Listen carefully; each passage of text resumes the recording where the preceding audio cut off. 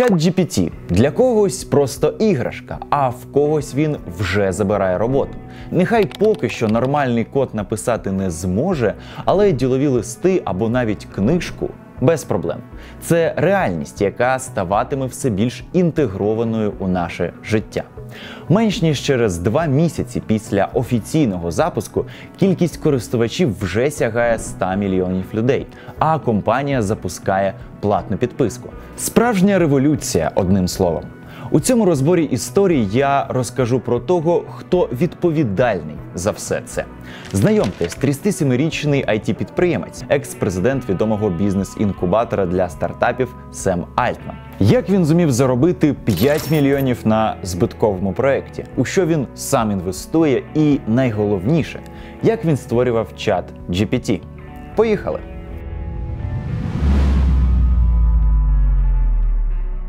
Він народився у 85-му у Сент-Луісі, штат Міссурі, у єврейській родині. Батько забудовник, мати дерматолог. Жили не бідно. Вже у восьмирічному віці батьки подарували Сему перший комп'ютер. Це, як виявилось, було ключовим.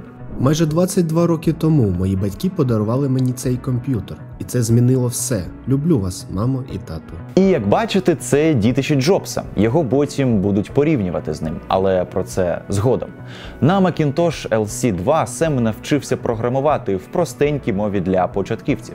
Basic. Базову освіту отримував у звичайній школі, але сам він, звісно, звичайним ніколи не був. Він був як офіційним, так і неофіційним лідером. Був капітаном команди з водного поло, редактором шкільного журналу, а згодом, зробивши камінг-аут, заснував у школі альянс геїв і гетеросексуалів, відстоюючи права сексуальних меншин. Але попри це, Сем думає, що у школі зробив не все, що міг би. Як він сам зізнавався, насправді я шкодую, що не почав робити бізнес ще в школі, як багато моїх однокласників. Що мені допомогло зрештою досягти успіху, певно, те, що я знав потроху про багато речей. По закінченню школи він, можливо, саме через цей комп вступив до Стенфордського університету на комп'ютерні науки. Хотів кар'єри в інвестиційних компаніях, переконавши себе, що це буде престижно і круто. Але як часто буває, зрозумів, що йде трошки не туди. І 19-річний Сем у 2005-му пішов з університету.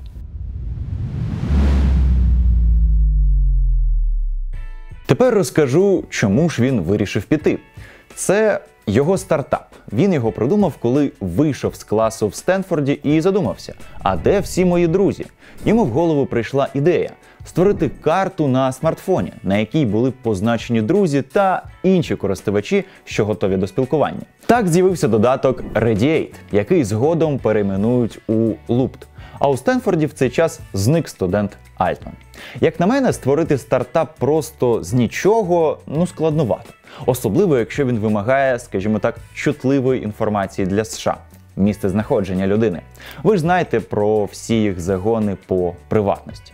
Так от, якимось дивом 19-річному стартаперу вдалося добити зустрічі з мобільними операторами США і, що найголовніше, домовитись про співпрацю. Їх дані зробили стартап можливим і відкрили шлях до інвестицій. Перша людина, яка вклала в це якісь значні гроші, венчурний інвестор Пол Грем і його бізнес-інкубатор для підтримки мікростартапів Y Combinator. Коли західні інвестори бачать, що у якийсь стартап хтось вже інвестує, це підвищує їх бажання вписатись в історію, щоб потім не втратити діамант, як Google, наприклад. Через цей феномен силіконової доліни, в тому числі інвестори давали гроші на Теранос, бо ну а раптом. Так от, разом із підтримкою серйозного гравця Альтман залучив понад 30 мільйонів доларів венчурного фінансування, а загальна ринкова оцінка стартапу зросла до 175 мільйонів доларів. До речі, вже нам відомий Грем настільки захопився амбіціями і талантом Альтмана, що у 2009-му включив його до свого топ-5 найцікавіших стартаперів. І через два роки в 11-му запросив Сема стати його партнером у Y Combinator. Чесно кажучи, Сем поряд зі Стівом Джобсом засновник, на якого я найчастіше посилаюся, коли консультую стартапи. Коли йдеться про дизайн, я запитую, що створив би Стів. Але коли йдеться про стратегію чи амбіції, я запитую, що зробив би Сем. Він із людей з такою силою волі, які отримують все, що захочуть. Але повернемось до нашого стартапу. І тут, на жаль, сумна історія, оскільки Лупт так і не вдалося залучити таку кількість користувачів, яка змогла б відбити інвестиції та згенерувати кошти для подальшого розвитку. Ми занадто оптимістично вважали, що місце розташування може стати надзвичайно важливим. Натомість песимістичне бачення полягало в тому, що люди брехатимуть про своє перебування та просто споживатимуть контент. Саме це, зрештою, і сталося. Так він згодом пояснив причину провалу. Зрештою, коли банківська компанія Green Dot Corporation запропонувала йому викупити Лупт, Сем погодився. Ціна питання 43 мільйони доларів. Але, попри відносний провал, Альтман отримав свої перші серйозні гроші і вже у 26-річному віці став мільйонером. Його частка при угоді склала 5 мільйонів. Ці кошти були проінвестовані в низку стартапів-початківців у Y Combinator, а сам засновник ChatGPT взяв річну паузу, аби подорожувати світом та вивчати нові технології.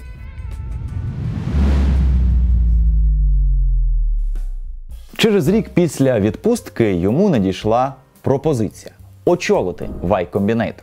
У 2014-му його засновнику Полу Грему виповнилось 50, і він вирішив знайти наступника. Хоча, по правді кажучи, оскільки Сем був єдиним кандидатом, він особливо з пошуками не заморочувався. Чому він єдиний кандидат? Поважне видання Vox це пояснювало так. Якщо і існує архетип Y Combinator, то це Альтман, молодий чувак-програміст, який кинув Стенфорд, щоб запустити стартап Loop.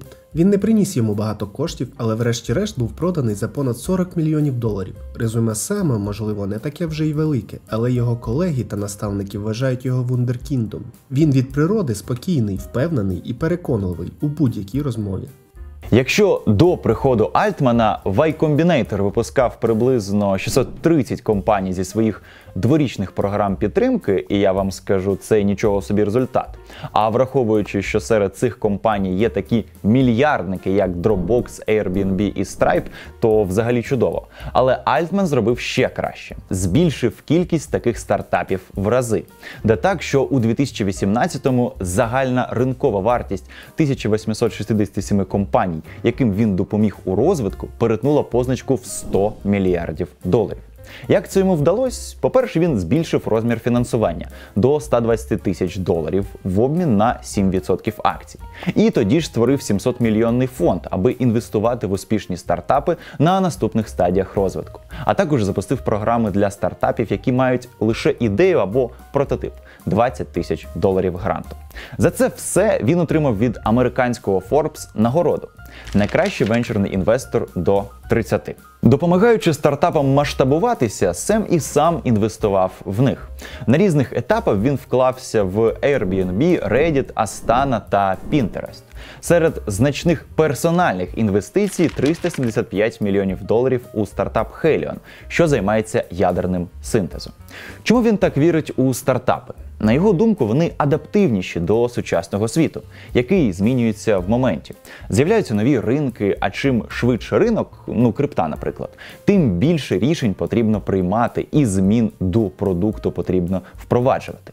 Стартап роблять це завжди швидше корпорацій. Чому стартап перемагає корпорації? В корпорації одна відповідь ні одного з керівників вбиває ідею, а в стартапі ні. Їм плювати на ваше ні. Вони можуть йти вперед до моменту, поки хтось не скаже так.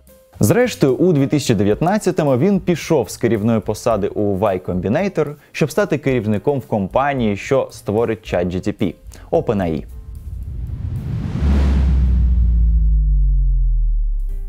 У 2015 році Ілон Маск, співзасновник платіжної системи PayPal Пітер Тіль та Альтман оголосили про створення компанії OpenAI. Для чого? Бо вони бояться того, що машини переможуть. І я не жартую. У результаті люди можуть опинитися в тотальному підпорядкуванні у корпорації, що володіє супермозком або в уряду, а то й зовсім стати непотрібною ланкою, домашньою твариною штучного інтелекту. За допомогою штучного інтелекту ми викликаємо демона. У всіх тих історіях, де є хлопець із пентаграмою та святою водою, він ніби впевнений, що може контролювати демона, але не вийшло. Спочатку це була некомерційна структура з відкритими патентами. Ідея OpenAI – проведення досліджень та розробок. І розробочки пішли. Наприклад, це Jim – тренажер для штучного інтелекту. Також це його вдосконалена версія RoboSumo, де віртуальні бойці сумо повинні швидко навчатись для перемоги у бою. У 2018-му компанія представила Debate Game, де машини обговорюють примітивні питання з людиною суддею. Мета гри дослідити, чи може такий підхід допомогти у перевірці рішень штучного інтелекту. Одним словом, як бачимо, у OpenAI багато напрацювань. Це була основна ціль компанії з моменту її створення, але потім з'явився GPT. Це 2019. Саме тоді в OpenAI анонсували запуск генератора текстів GPT, доступ до якого відкрили через рік. І приблизно в цей же час Альтман очолює OpenAI. Я зайнявся цією справою, бо вважав, що вона матиме успіх. Щоправда, мене вразив масштаб нашого успіху, але я сподівався, що людям сподобається цей наш проект. Що було потім, ви самі знаєте. На початку 2023-го чат-бот ChatGPT набув широкої популярності і навіть запустив так звану гонку чат-ботів. До речі, як з'ясувалось нещодавно, Маск, який є одним із засновників компанії, у 2018-му хотів отримати прямий контроль над нею. Проте не вийшло. Можливо, у відмістку він згодом вийшов з ради директорів OpenAI, нібито через конфлікт інтересів з його роботою в Тесла. При цьому, як стверджує видання Сімафор, Маск відмовився від обіцянки надати OpenAI 1 мільярд доларів фінансування, виділивши лише 100 мільйонів. Таке рішення маска тоді створило серйозну проблему, оскільки штучний інтелект справа не безкоштовна. Тому OpenAI додала комерційності для фінансування своїх досліджень і дуже швидко отримала мільярдні інвестиції від Microsoft, який у свою чергу отримав ексклюзивні ліцензії на використання технологій OpenAI у своїх продуктах. Для чого це їм? Одним словом, розвинути свій пошуковик Bing і стати краще за Google завдяки цьому. Але сам керівник OpenAI при цьому не вважає, що ChatGPT замінить Google. Але я гадаю, що одного дня система штучного інтелекту зможе це зробити. Більше того, я вважаю, що люди не бачать головної переваги, коли зосереджуються на вчорашніх новинах. Мене більше цікавить те, що виходить за рамки звичайного пошуку. Хоч і Альтман вважає, що OpenAI не має заробляти гроші, потрібно все ж таки ставати прибутковим бізнесом, щоб продовжувати свої дослідження і не залежати ні від яких масків. За інформацією Reuters, у 2023-му OpenAI планує отримати 200 мільйонів доходу, а у 2024-му вже мільярд. До речі, про гроші. Горизонт використання таких технологій неосяжний. Он в Goldman Sachs вважають, що поширення штучного інтелекту може позбавити роботи ну плюс-мінус 300 мільйонів людей. Ось так.